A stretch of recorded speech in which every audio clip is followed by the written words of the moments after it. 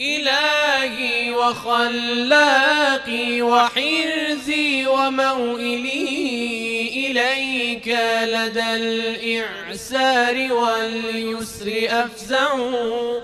إلهي وخلاقي وحرزي وموئلي إليك لدى الإعسار واليسر أفزع. إلهي جلت وجمت خطيئتي.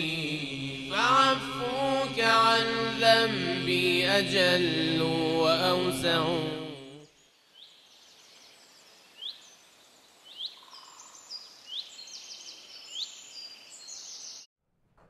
أعوذ بالله من الشيطان الرجيم. كوكب كوكبلي قص الله مولا سسنمبا نسطناس بسم الله الرحمن الرحيم سنغلني الله ang pinakamabagin, ang pinakamaunawain.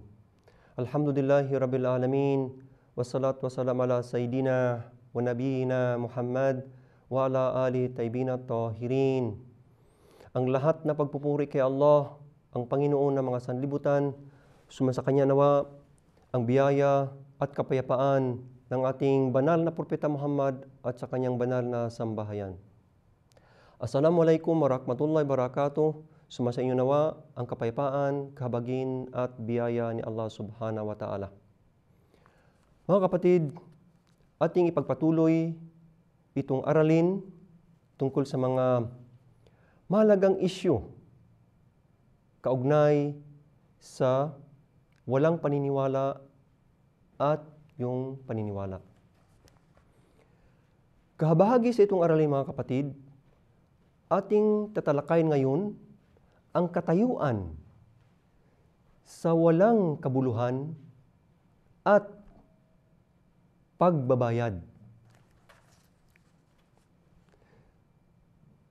Mga kapatid, sa ibang salita mga kapatid, ay bigyan natin ng pansin ang katayuan sa itong salita na nagsasabi yung habd at takfir sa mga ginagawa ng tao.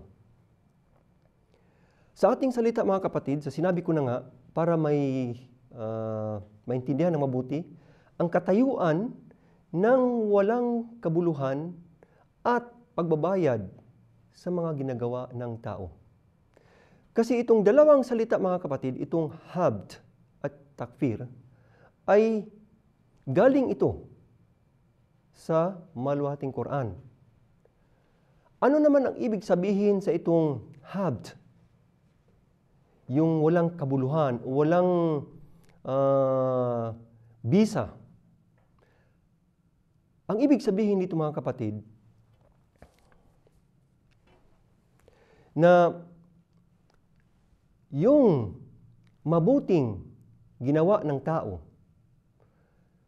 ay maging walang epekto kadahilanan sa kanyang masamang ginagawa. O yun ang layunin pala ng habd. Kasi itong habd, salitang Arabo. Yun ang layunin mga kapatid.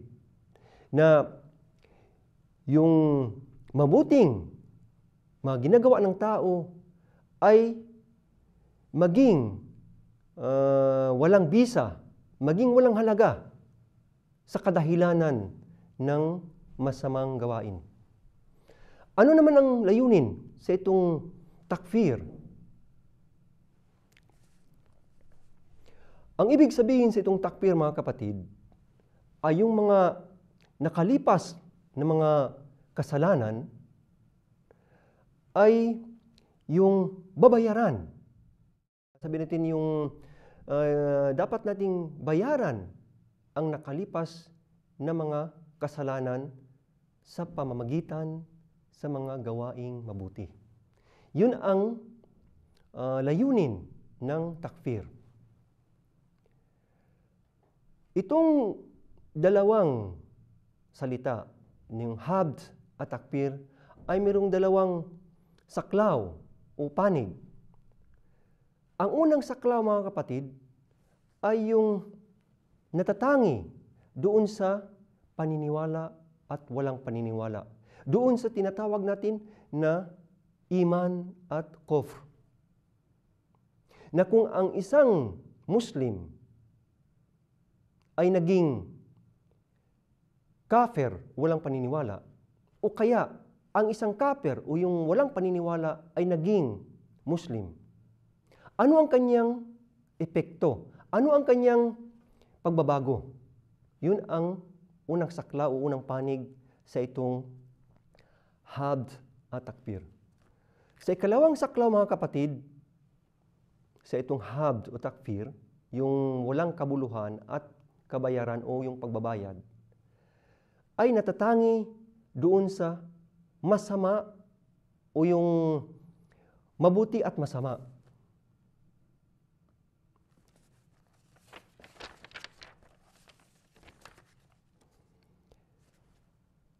Anong ibig sabihin doon mga kapatid sa itong uh, sa itong panig o sa itong saklaw nating sinabi, yung natatangi doon sa mabuti at masama? Na ganito ang kanyang kapaliwanagan. Na yung tao na sino man na gumawa ng mabuti at pagkatapos gumawa ng kasamaan o yung o kaya yung kabaliktaran. Sino man ang gumawa ng kasamaan at pagkatapos gumawa ng kabutihan. Ano ang kanyang epekto? Ano ang kanyang uh, kalagayan, mga kapatid? Mga kapatid, kung titingnan natin sa ating mga kapatid na alusunna, sa kanyang uh, sa kaalamang teologo, sa teolohiya, ganito ang kanilang pananaw na yung sino man na mayroong gumawa ng kabutihan, na yung paggawa niya ng kabutihan ay mawala sa pamagitan ng kanyang paggawa ng kasamaan.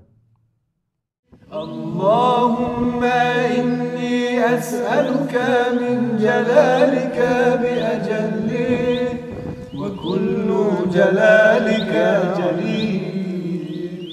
اللهم إني أسألك بجلالك كله. At sino man ang gumawa ng kasamaan ay uh, isang daang porsyento na mawala yung kasamaan sa pamagitan ng kanyang paggawa ng kabutihan. Yun ang kanilang pananaw.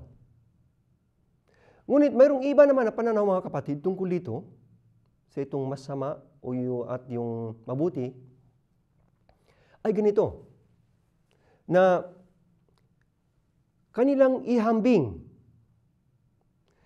na yung tao, sino ang marami? Sino ang marami na nagawang mabuti at sino ang uh, nagawa na kasamaan? Halimbawa, sa isang tao mga kapatid, meron siyang ginawang mabuti meron siyang ginawang masama. Saan ang sa kanilang dalawa? Marami. Sino ang marami sa kanila? Yun ang magbigay ng sabi natin malaking uh, timbang. Kung ang tao ay gumawa ng maraming kasamaan kaysa uh, kabutihan na itong tao ito ay masama. Ngunit kung ang tao ma, yung uh, ang kanyang timbang ay mabigat. Yung kabutihan, kung ihambing doon sa kasamaan, itong tao ay masabi natin na mabuting tao. Yan ang ikalawang pananaw.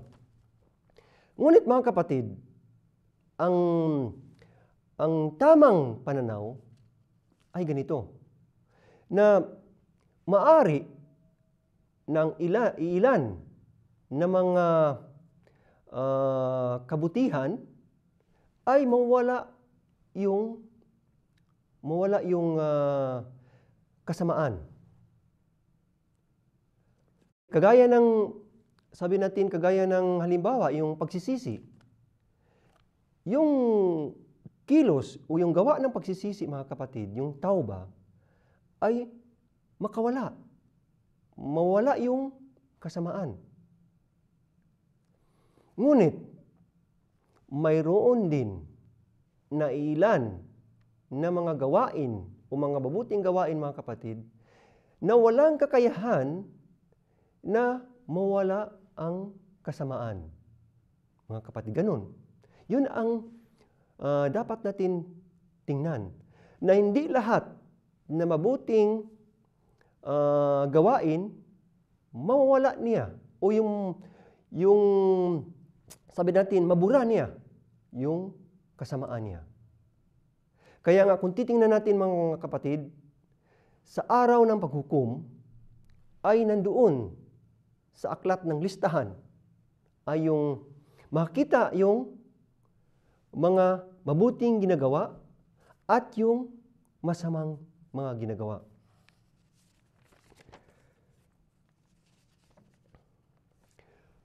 Kung titingnan natin mga kapatid, sa panig ng yung paniniwala o yung iman at yung kofr, yung walang paniniwala, itong iman mga kapatid ay siyang magbibigay. Magbibigay liwanag, magbibigay ilaw sa puso ng tao. Yan ang kanyang uh, bahaging ginagampanan ng iman, ng iman ng tao, o yung paniniwala. At ito namang kof, walang paniniwala, ay siya ang bagay na magbigay ng kadilimang sa tao. Kaya nga mga kapatid, kung titingnan natin itong itong salitang kofr at yung uh, iman, yung paniniwala ay makita natin sa Quran. Ano ang ang binigay tungkol dito?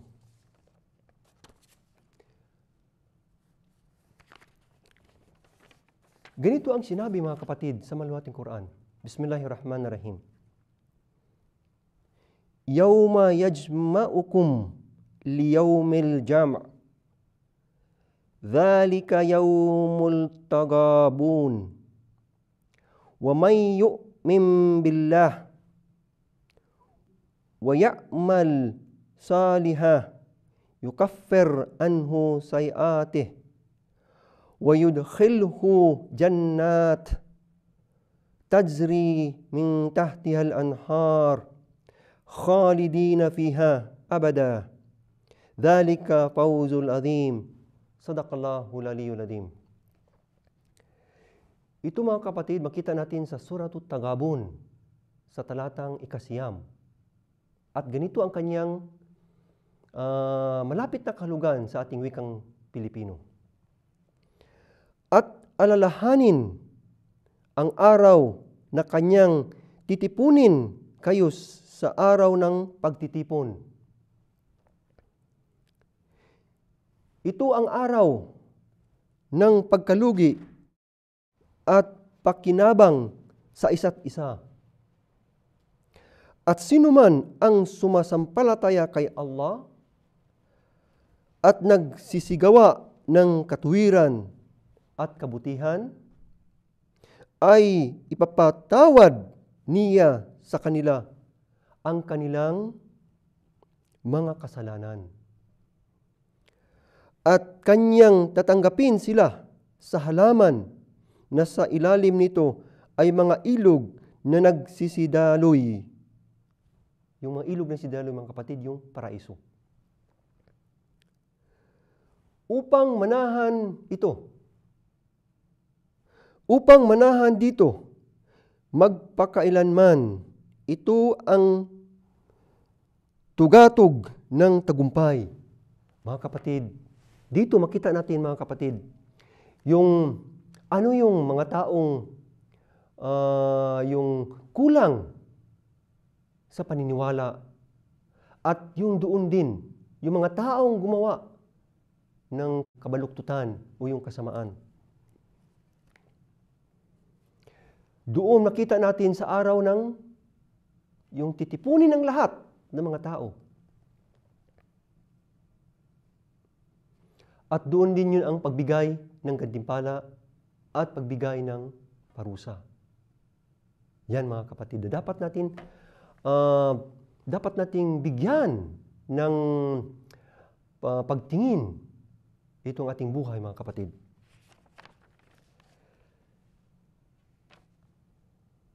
Kaya mga kapatid, yung sino man na yung yung walang paniniwala ang kanyang maging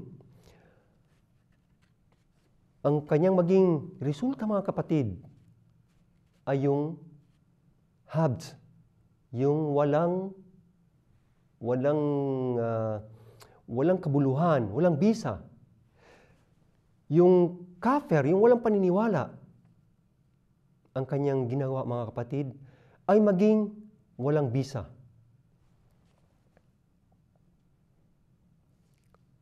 At sino man yung mga kapatid, yung yung uh, yung kofr, yung yung kafir siya na walang paniniwala at naging Muslim, na yung, mayroon na siyang paniniwala, ang mangyari sa kanya mga kapatid ay tinatawag natin na takfir.